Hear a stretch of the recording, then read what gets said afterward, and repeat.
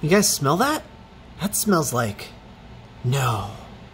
It must be free content. Alright, so, this is a discussion that has come up plenty of times in the past. And, um, I've never really gone over it. I mean, I've heard, I've made videos on this before, but I've never, like, explicitly talked about what exactly is going on. So, for context, let's say you have a game, it's got a little bit of water damage or you know, what have you. Uh, it's very well used and the contacts are just gross. That's not the right cart. Um, you know, you can, you can clean it up. You can usually get it working. Uh, take this cart, for example. It's probably not going to come out too well. Let me uh, bring that down here. Uh, you can kind of see some of the pitting on these contacts. You can see on the edges, it's not not quite smooth. Uh, if you look at the save chip here, you can see one of those legs is almost entirely gone. So this cart at some point has seen liquid damage and someone kept using it. Now, it does still work perfectly fine. There are zero issues with it. Uh, however, based off of the fact that, that that leg on that save chip is basically dissolving, you know, we want to we want to try and preserve this. This is I mean, it's not my personal taste. Uh, I'm not really big into the Zelda games, but you know, it's Legend of Zelda Minish Cap. It's generally considered a pretty good game. Uh, but also, this isn't even my game. A friend sent me sent this to me and asked me to to repair it, so that's what I'm gonna do. Now, some of you might be looking at this and going, "Well, gee, Makho, why don't you just put some solder on those contacts? That'll clean it up real nice." No, bad. So whoever owned this previously, and I don't know if this was my friend who did this or if it was the person my friend bought it from. Um, but what happened was they used some sort of abrasive on these contacts and just took a very small surface layer off. Now it's not it's not terrible at all. I have seen much worse and you know I, have seen people take literal sandpaper to the cart edge connector and that's just that's horrible but this is it looks like a step below that now there's still some pitting so the contacts don't make the best contact, uh, but I have yet to have any problems with it. But my main concern is just the fact that pin on that chip is basically gone, and there's there's not a whole lot we can do to solve it. But the important chip, the mask ROM, that thing is perfectly fine. So what we can do is we can take another perfectly working game with the exact same motherboard, EO3-20, and then we'll just transfer over the mask ROM chips because this one has a perfectly intact EEPROM for saving. Um, and that'll take care of the EEPROM. Now, that'll also conveniently take care of the contacts, but there is something I want to discuss. Now, you can always just get like a donor PCB made up. This this really isn't too hard to reverse engineer. It's a very simple circuit. It's a very small two-layer board but let's go over a few things. So for modern PCB fabs, there are three different options for finishes.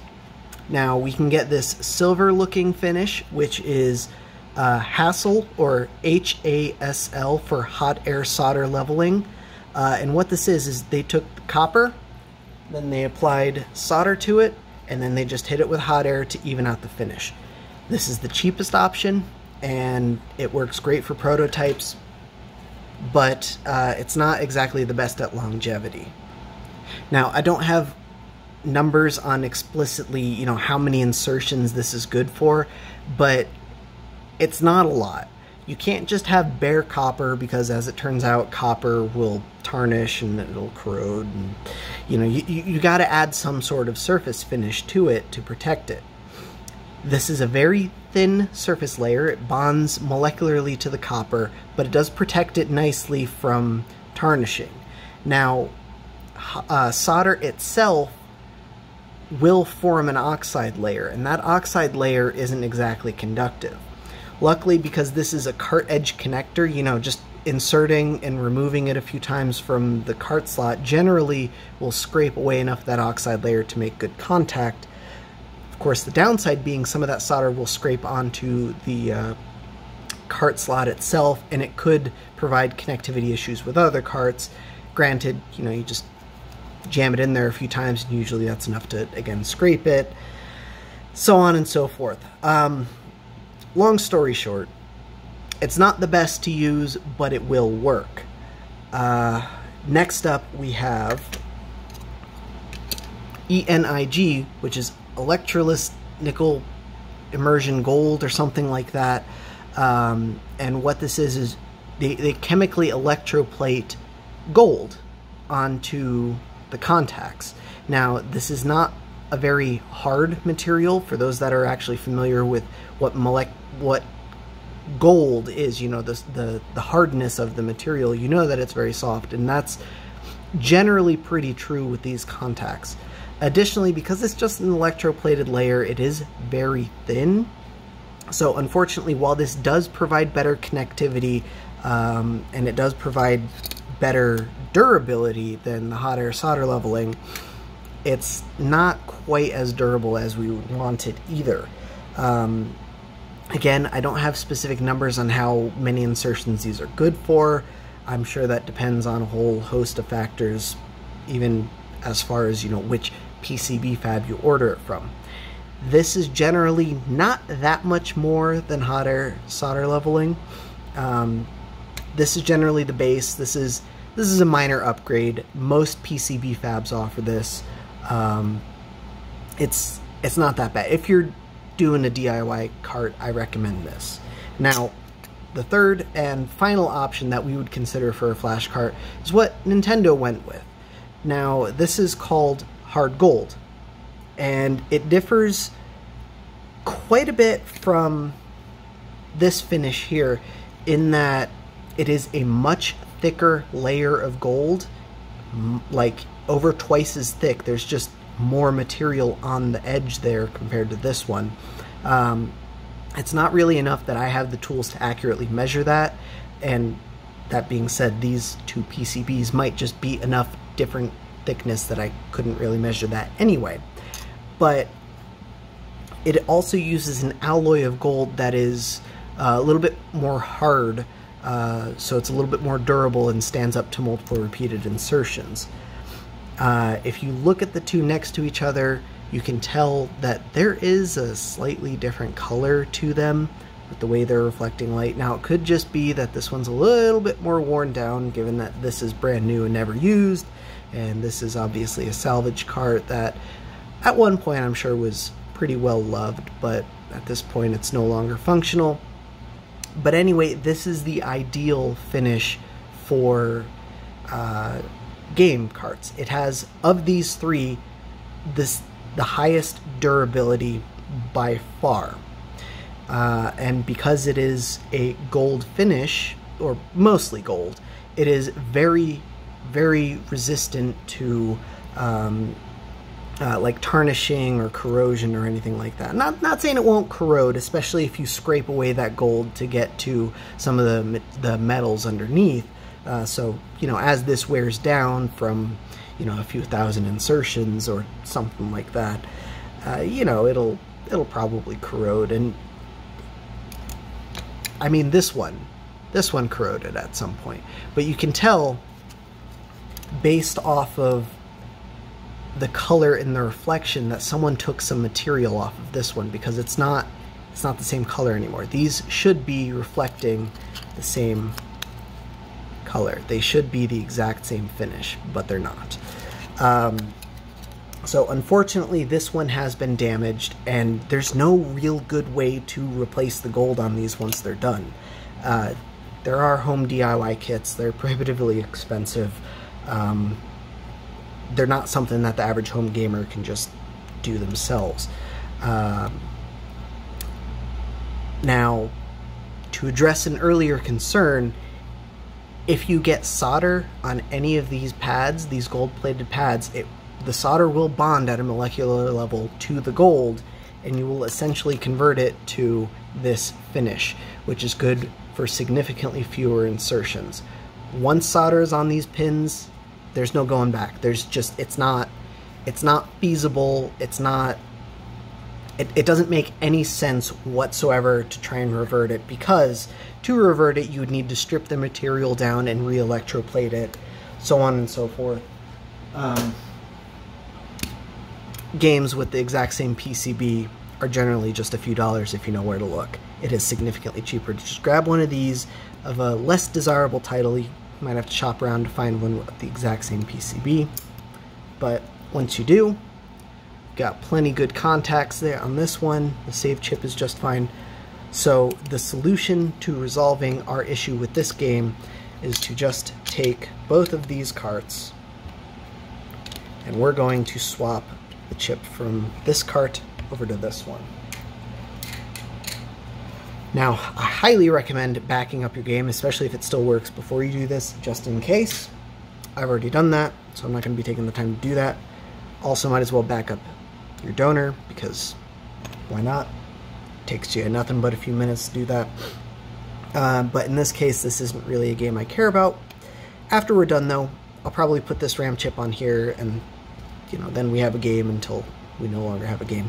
But, okay, enough rambling. To actually do the work, I'm going to be using a small hot plate here. This is the Miniware MHP30. It is basically the, uh, there it is, the TS80P soldering iron, just instead of a small tip, you have a stupid big tip uh, with a non-stick surface so that it doesn't take solder. Power supply is not the exact same, but I think I think this one comes with a slightly beefier 65 watt power supply, but it'll take just about anything, uh, just like the soldering iron. The only difference is it might be a little bit slower to heat up. So we are going to heat that up, and we're going to start by removing that ROM chip. I'm just going to go ahead and place that right on top. It's going to take it's to take a little while to heat up, so I am going to use to apply some flux to make the removal nice and easy.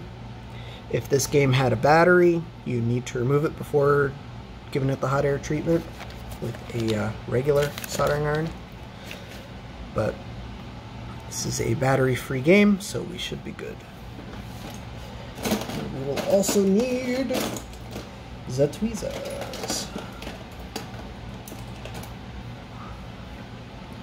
Oh, and I probably should have done this game first. I wasn't thinking about that.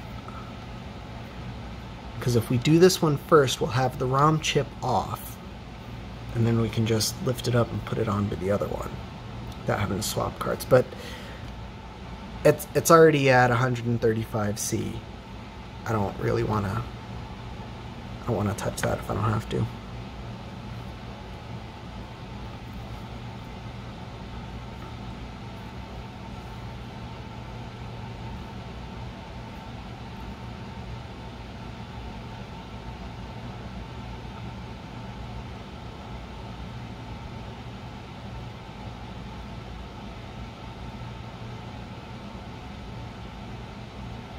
You can use hot air to do this too. But, I'm not gonna lie, I'm really liking the uh, hot plate method. Alright, we're gonna pop that off.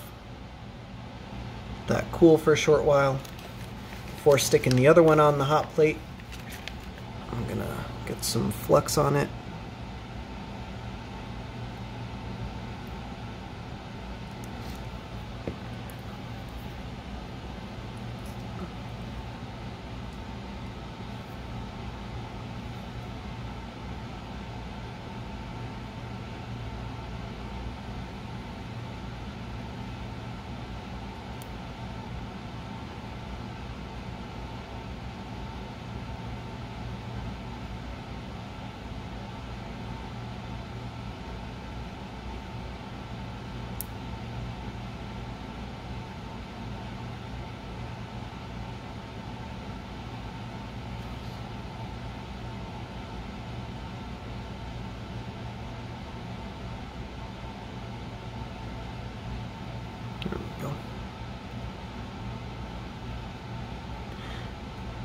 Kind of stuck down with whatever caused the liquid damage in the first place.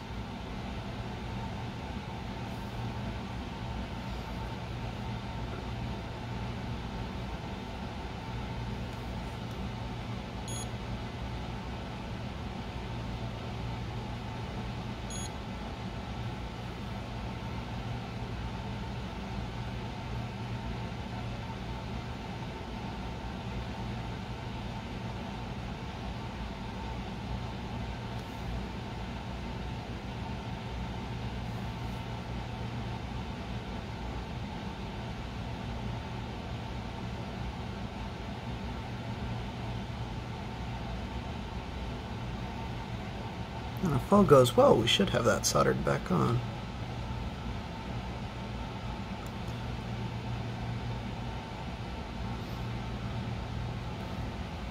Apply a little bit more flux to our donor board here.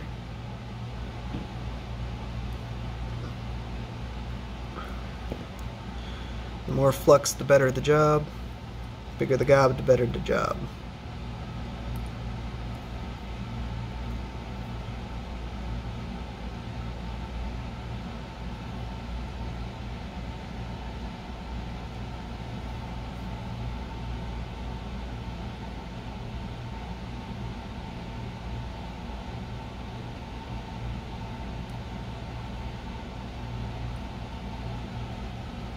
Ooh! That's not supposed to happen.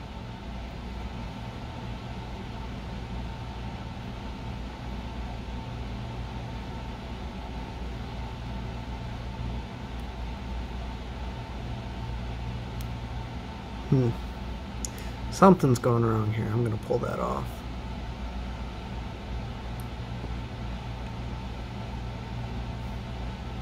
I think my flux is boiling. That's giving me a hard time. It's too hot. Yeah, you can hear it popping. I'm gonna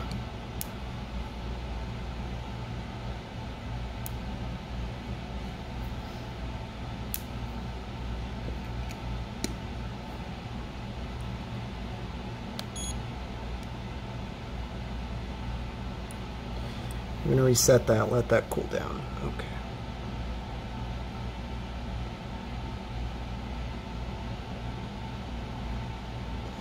Worry I may have warped the board a little bit. You can see that kind of teeter-tottering back and forth.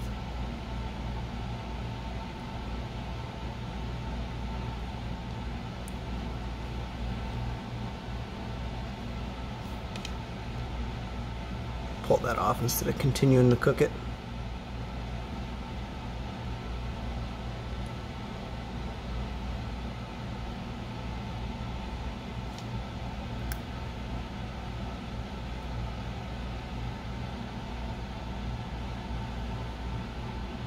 Looks fine.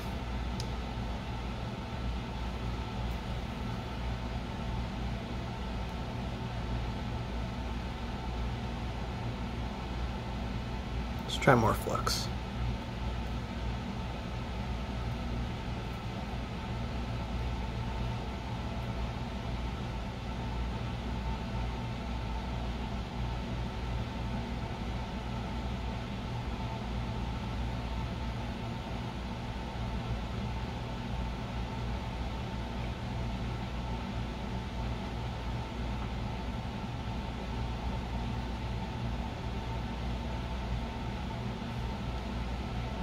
There we go. I think I just let my hot plate get a little bit too hot. I'm used to uh, soldering with a soldering iron, and with my soldering iron, I keep that near about 300 degrees Celsius. With the hot plate, probably don't want to get it that hot. Seems like the uh, happy spot is about 220-ish.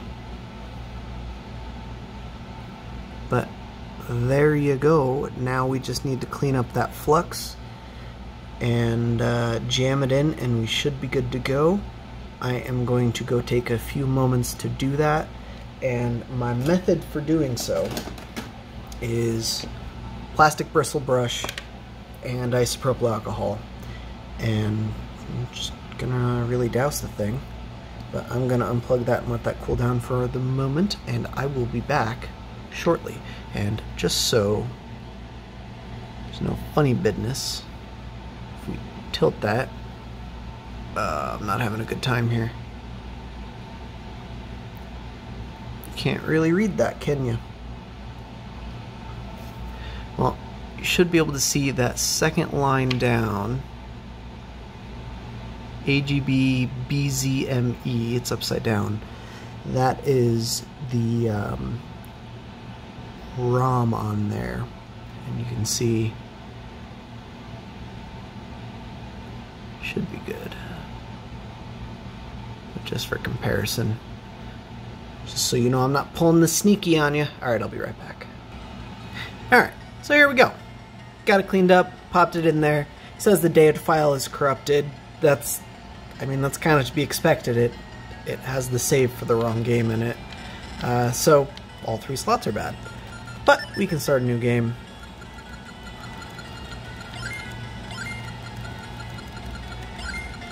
And all will be well. Or I could just restore the save that I already dumped off this game. Unable to save file. That's a problem. But that's okay, we'll get to that. Uh, so, I figured out why this thing popped. And it's because I made a mistake. Uh, like I said, I got it a little too hot and you can see the board just has bubbles in it. Uh, so, I don't know. That could be related to why it's not saving. But I don't really care to find out because I messed this board up. My friend trusted me with his game, and I broke it. So we're going to do what we can to fix it. And if I break it again, well, that's going to be a problem, isn't it? Um, but it's okay. I scrounged through my um, my donor pile. Get some flux on here. And I found this some game that I'm never going to play. But if we pop it open, look at that.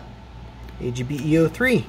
It is the board we need. It's got a nice good EEPROM chip on there. So, just use that one. If it were my game, I would just hit it with a soldering iron.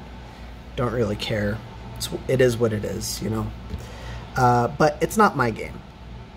And I hold myself to higher standards. So let's see if we can't fix that. I'm going to let that heat up and grab my tweezers.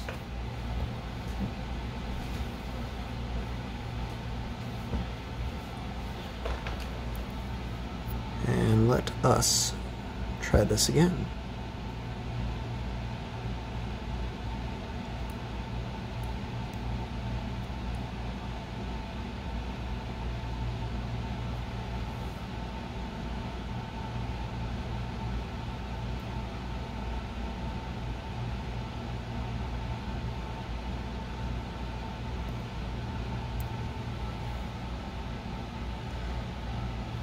There we go.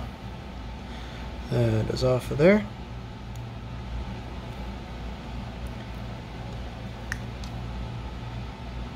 Let's load up the donor here.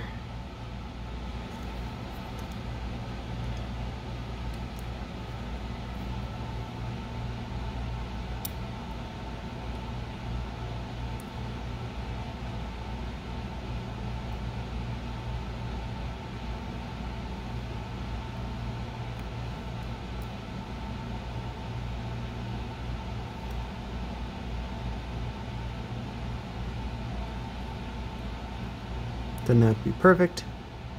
It'll center itself. And we'll pull that off. Don't want to overheat things again. And let's solder this one down.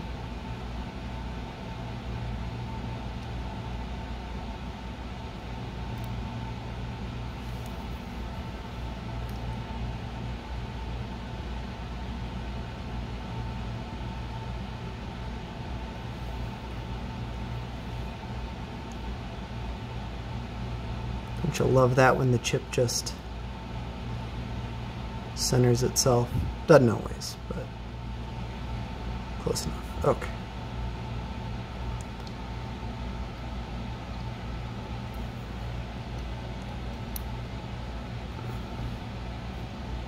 If you're using a hot plate, by the way, that thing will take a good few minutes to cool down.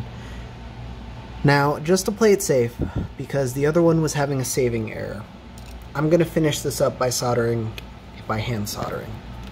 So I am going to turn on my iron to preheat it. And just as a precaution, I'm to take some masking tape and we're going to mask off these pins because we don't want any solder on them whatsoever. Because like I said, once the solder gets on them, there's no there's no undo button for that.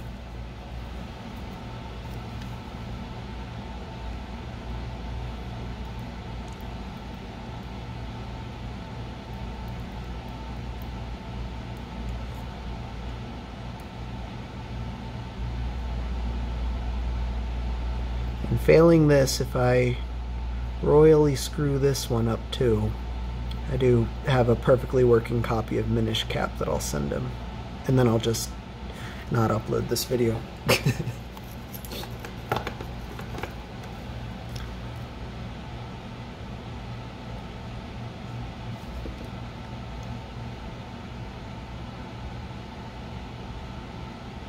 Ah, Flux makes everything easy.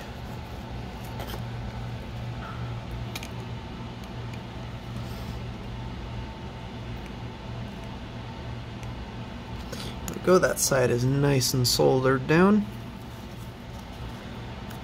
And then we'll do this side just as a touch-up.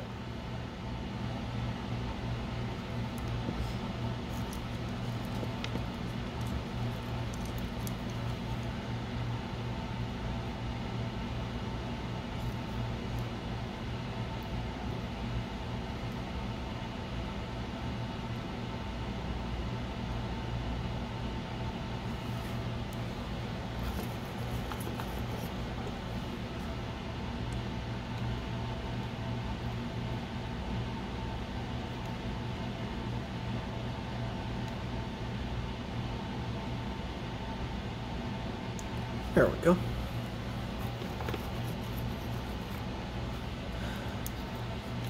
While I'm here, might as well get the other two. Or hell, if you're doing this yourself, probably should have done these two as practice.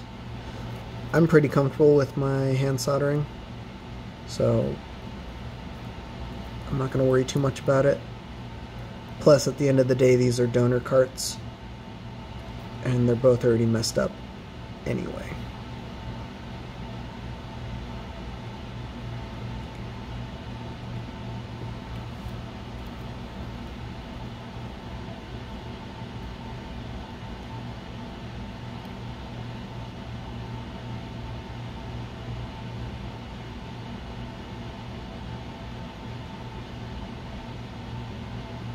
Boom.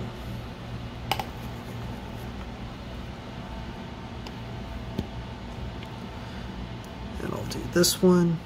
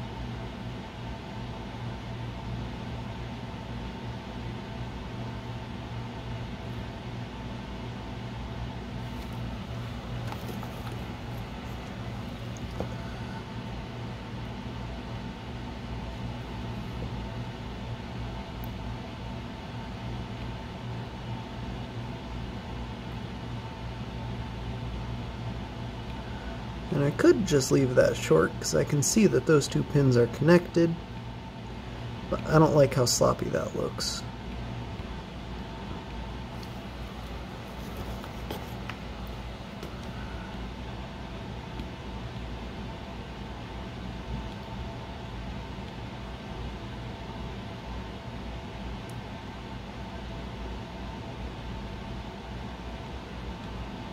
Good lord.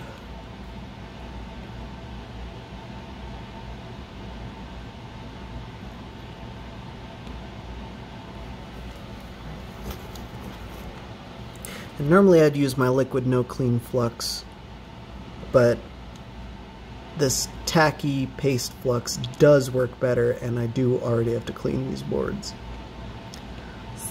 So that's what we're using. Man, I cannot get this last short.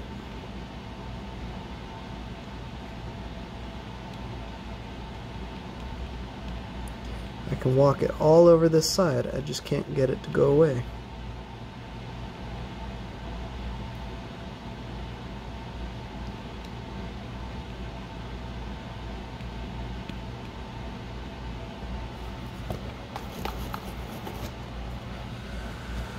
Clean the iron, a little bit more flux.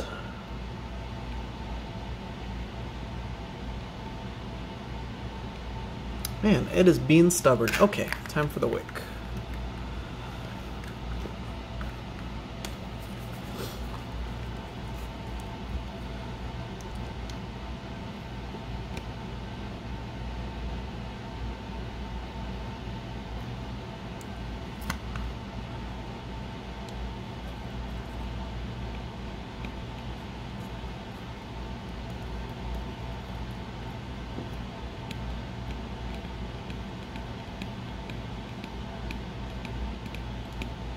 There we go. let's see if we can't bring back that first pin anyway.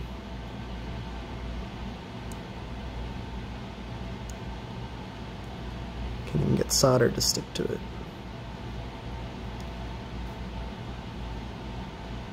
I'm not sure how it was hanging on there. Oh, there we go.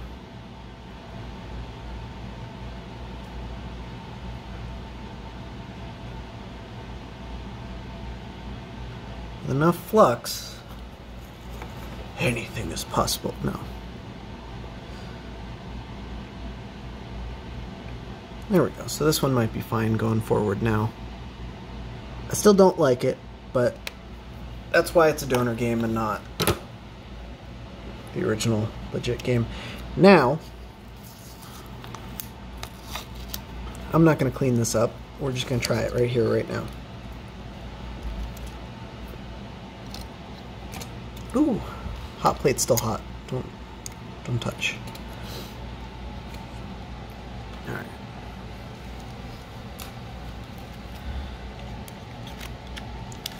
Should complain about the save again. Look at that, Nintendo logo. I don't even have that on screen, I'm sorry. The Minish. Press start. Hey, we're not getting a corrupt error this time, just empty save.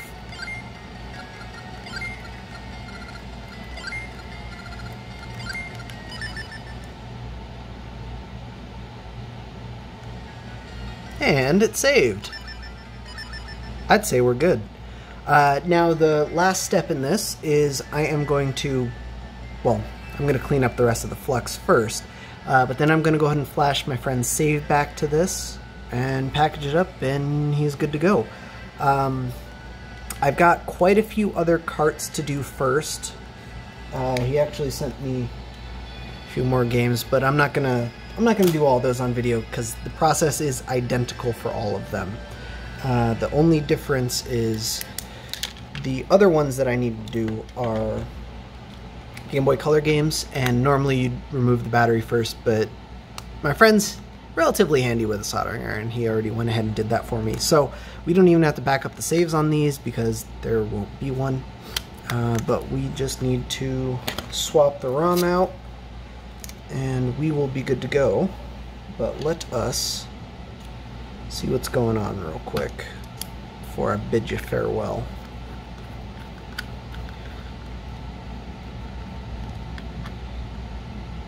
this is his Oracle of Ages cart.